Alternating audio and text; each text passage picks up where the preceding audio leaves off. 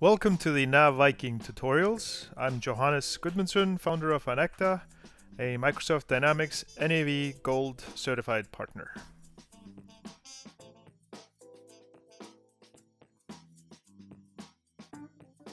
Hello and welcome to the Coffee Mug tutorials. Uh, we keep going. We are now going to get into um, deposits. So it's the cash receipt series. Uh, we started out with looking at the customer ledger entries and applying uh, an entry inside the customer ledger entries.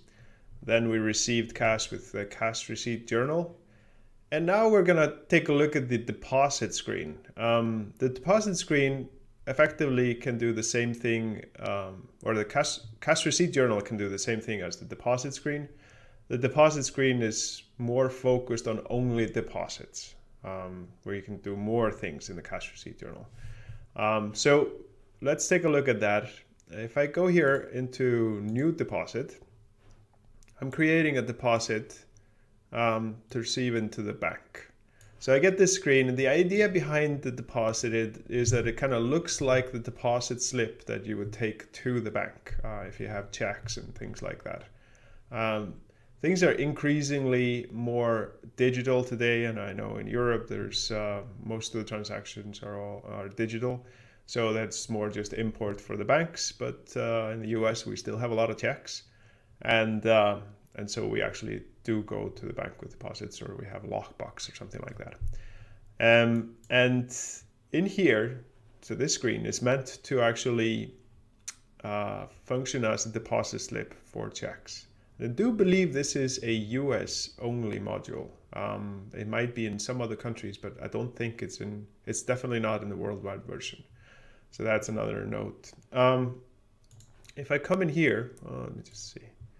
Um, I get a new deposit number right here, and I'm just gonna pick the account number, uh, bank account number. That's gonna be our operating account.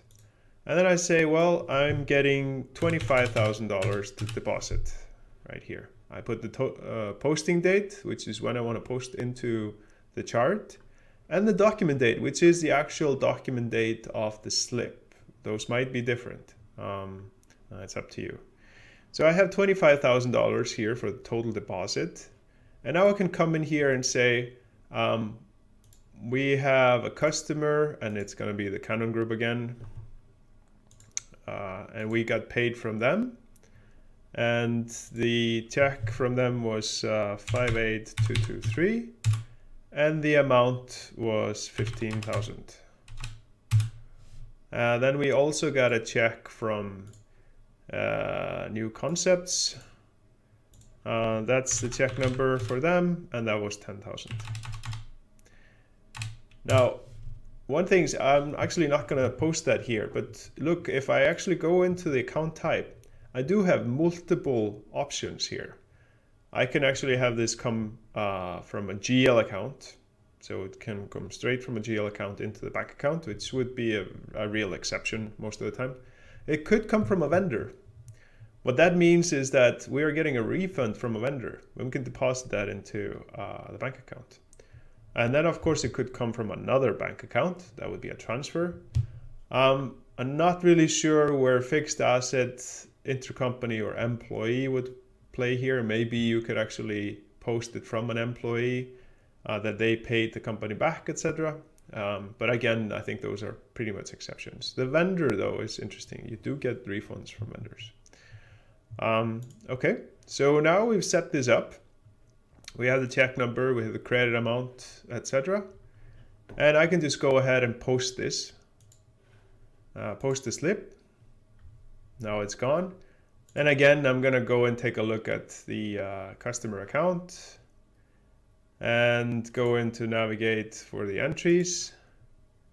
And I can see that uh, we got the 15,000 in here. Now, I did not apply it in the deposit. Uh, you saw how I applied it before, and um, I just left this open intentionally. So, but you could have obviously gone into the deposit uh, and go into apply entries and pick the entries there. Uh, so it would actually close out automatically the amounts.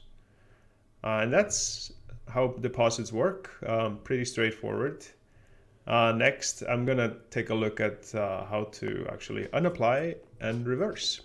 So thanks for watching. Thumbs up if you like it and subscribe.